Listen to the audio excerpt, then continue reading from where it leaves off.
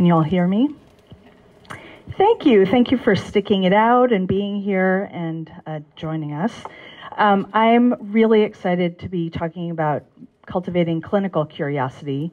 I feel like, um, well, it kind of builds upon notions of care that we've heard previously. Uh, the the idea of clinical medical curiosity is absolutely central to me. Uh, curiosity itself is kind of, it's the spice of life. It's why I do my job. It's what draws people to medicine. And it is curiosity itself that ignites the fire of inquiry, inquiry that fuels innovation, that begets observations, um, that then uh, provide all the data that help us improve the care of patients. All of that uh, provides the, the backdrop for the cultivation of empathy. And as you all know at Nueva, empathy is the really the first step in the whole design process that leads us to innovation and the betterment of humanity. For me, I feel like clinical curiosity should be the very the biggest component of the medical bag. It should spring out of the metal, medical bag like like a jack in the box. I don't think anyone should have a medical bag without curiosity, which is why I chose this image. Uh, and it's the source of my joy in my medical practice. It's what, what gets me out of bed in the morning. It's what transforms what could be mundane practice. Some people would say, I'm a fa- family doctor. Some people might say that patients coming in one after the other with similar complaints could be dull. And it isn't at all. It's absolutely fascinating because of clinical curiosity. So, th- this is me in my element. Uh, I'm known as the bubble doctor. I love what I do. I see babies and kids, adults. My oldest patient would have been 100 this year. She died recently. I take care of her daughter and her daughter's children. Uh, and every patient that I get to see has some unique story that brings to life uh, the care that we that I provide and that animates um, their stories. So that it's that kind of human element that brings medical medical students to Stanford. This is the first year medical school class. They come to Stanford very much to connect with human beings. They want to translate scientific discovery in the application at the bedside to help people lead healthier lives, to be happier, to live longer, healthier. Uh, and they're full of passion. They're full of um, imagination about how, all the ways that they're going to make the world better through medicine. But there's a problem. And the problem is that in the first couple of years of medical school, we plop them down into biochemistry class, big lecture halls. We make them memorize a lot of information. And we teach them about caring for patients with standardized patients and with mannequins. And while that's important, it's kind of vanilla flavored as it goes for the care of patients. What we, what they strive for, and what I hope to deliver to them is more rocky road, razzmatazz, some better, wider variety of flavors. So uh, it is for that reason that I started a program it, under the umbrella of patient and family engaged medical education, where we bring patients together with students uh, from the very first weeks of medical school. We have 40 students and 40 patients who are paired, and the students experience health, illness, and the journey of navigating healthcare through the eyes of their patients, the patients' families, and caregivers. This, uh, we kind of joke that we have 40 different curricula. It, it's like crazy, um, and very lots of flavors. It's more than Rocky Road. Um, so this um, experience, this program, really introduces our students to human drama. And one of the aspects of this program, in one of this uh, one domain of the program, we have a course called Walk with Me that uh, requires the students and patient partners to develop projects by the end of the the course. It's very much like Quest. Uh, so I'm going to just give you a couple of examples of Quest projects. This is my student Bright, who was whose patient partner Jody, who has a YouTube site. Um, she's a small person. She, I think she's maybe three foot ten, and she loves to cook, as does Bright. So they developed a video um, that instructs people about how to make chocolate chip cookies in Jody's retrofitted, very low, um, totally adapted kitchen. So you can imagine Bright learned a lot about Jody's perspective on health uh, and navigating the world. This uh, patient, Patri- uh, student, Patricia, and her patient uh, explored her patient's experience of having lung disease as being what you'll see is a visual representation of a first card of kind of the representation of the lungs is the hospital gown and behind the hospital gown gown is an x-ray and then layers of depth of what uh, of how he experiences the world, what's important to him, his beliefs and values that they explored together.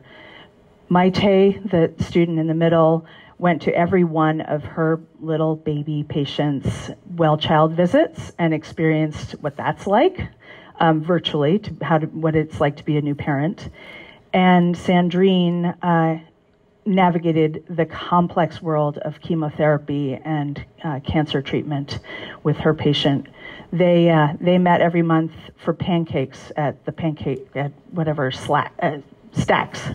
Um, so through this course, what we're really endeavoring to do is to inspire our students to be the doctor depicted in this 1891 uh, uh, painting the doctor who's fully focused on his patient, who's observing, not just seeing, who's appreciating in a mindful, slow, connected way, appreciating the patient and her surround, um, and devoting what looks like a long night, because it looks as though the sun is just coming up, uh, to caring for his patient. This, while um, my environment isn't quite so picturesque. This is my clinic environment, the hallway of my clinic environment, but I want to give you an idea of what kind of deep clinical observation looks like to me in a pedestrian way. Um, this, so this is the hallway outside a clinic room, and I haven't seen my patients yet. I don't even know who the patient is, um, but already I'm kind of establishing. I'm observing to figure out who I'm going to be seeing. So I want you just to notice that there's a green apple. I don't know if you can see that little poke of green. And you probably can't tell, but those are seaweed snacks. Really great food for somebody who belongs in a stroller. What might life look like for this family if these were the snacks that they had, which is really much more common in my world? I see kids coming for their 8 a.m. appointments with those giant lollipops, you know, that are like 8 million calories and all sugar. And so instead of that, I'm already seeing this family cares about their health. And I get a glimpse of them, a little more of a glimpse.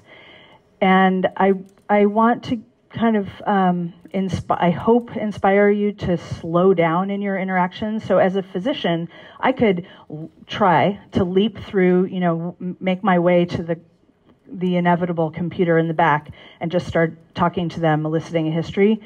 But I really like to enjoy the first few moments of a clinical encounter and kind of take it in. So I'm taking in this adorable family mother comes in with her four children. So I, the, for, I know many of you are not parents, but this is like a remarkable little tableau. The kids' hair is cut. All of them have pretty good haircuts, which means they don't have ADHD. She's somehow able to navigate that. She probably cuts their hair herself. They all have clothes that sort of go together. Um, and importantly, for as a clinician, as I'm looking, as I'm just kind of taking it in, I'm trying to decide which of the four kids come, goes first. This is going to be a two-hour visit. Who do I talk to first? And I would say, I'm going to. Well, who would you choose? Who do you think? Who's the kind of power broker? Who holds the power in this relationship? Tyler. The boy in the back looks pretty mischievous. He, that one? No, I think the one in this. So yeah, so he he holds the power. So he's literally the apex of the the image um, in the photograph. But he also so mom is looking to him. The little the mischie- the real mischievous one, the little guy, uh, is connected with him. He literally has his hand there, right? And this guy is the one I worry about, actually. he's he's got his hands on the little twirly things on the twirly stool. He's you know so in a family of four, he's actually literally in a medical sense. I'm a little bit worried about his safety because he's the one who's going to go off and you know try to blow something up. But so if I start with the power broker in this encounter in this visit, I'm likely to get more buy-in because the others are going to follow suit. Just by way of example. So, in a clinical encounter, I'm really excited to observe things closely, like hands, feet, and accoutrement. Hands really do tell a story. Do you know who this is? Nadal. Nadal. Yeah. Is he right or left handed? Left. Left handed, totally. Big left arm. Right? Both arms are big. Hands tell an incredible story. Uh, they can tell us if someone works in the field or works on a computer. They tell us if someone smokes. They tell us what people do. So if you can see, oh, there are lines on this man's arms, especially the right arm. He's a baker. There's, there are lines that are more obvious. Those lines uh, come from the tortures of working in a in a um, bakery where he's lifting up pans and burning. Right. That's so. That's very common. If you really study people's arms, um, you will see that for people who cook frequently. These people all have something in common that they um, they've been exposed to something uh, that's caused this reaction on their skin. They have nickel allergies. This woman has um, one leg that's smaller than the other, that's weaker. If you just looked at her shoes, you could tell that because she's her her right shoe has been dragging across the ground because her right leg is weaker. Patients sometimes come into clinic in slippers, and you think, ah, maybe they just like rushed out of the house. But maybe they came in slippers because they couldn't fit their shoes on their feet, and maybe their feet really hurt Maybe they have bunions that need to be corrected. I love this story of a 69 year old truck driver who, um, who has sun damage on the left side of his face. So uh, he has dermatoheliosis. We like big words, uh, which is uh, a result of sunlight going through the through the glass UVA and causing solar damage by um, destroying the fibrous kind of connective tissue in his skin.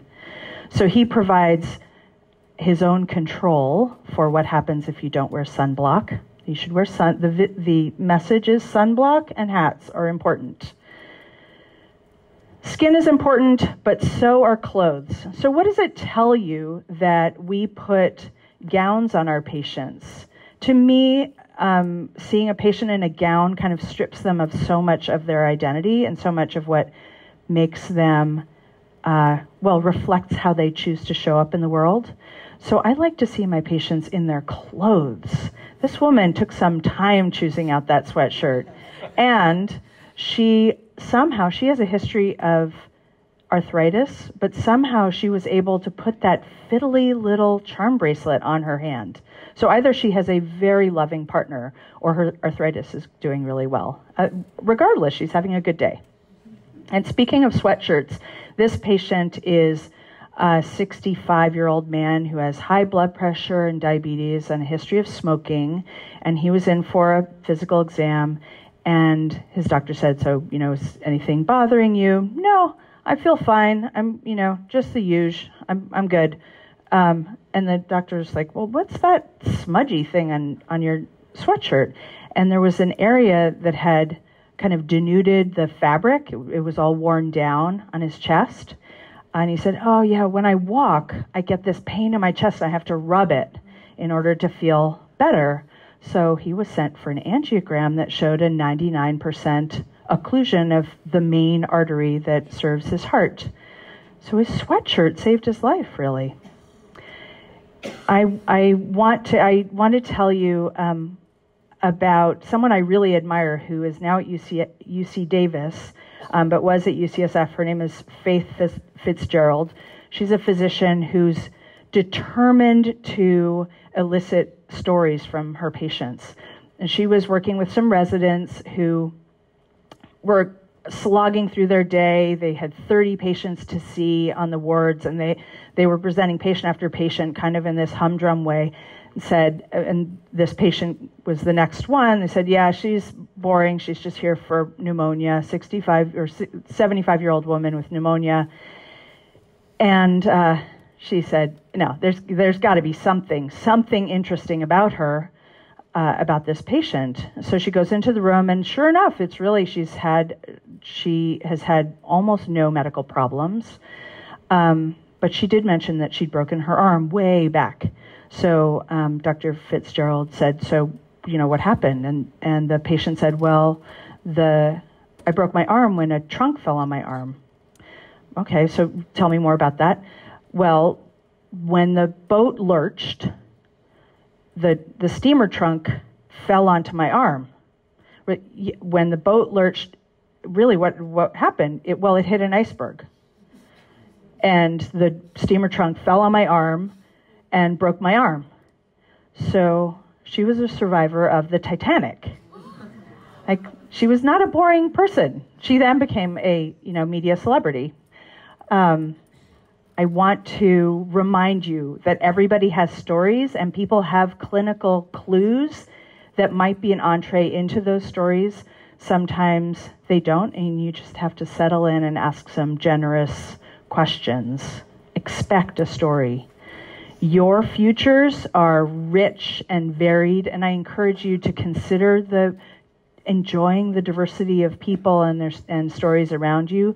Keep human beings at the at the center, especially as tech, the biomedical revolutions of information and tech and AI are upon us. We need to attend to the counterbalance of story and humanism. Thank you so much.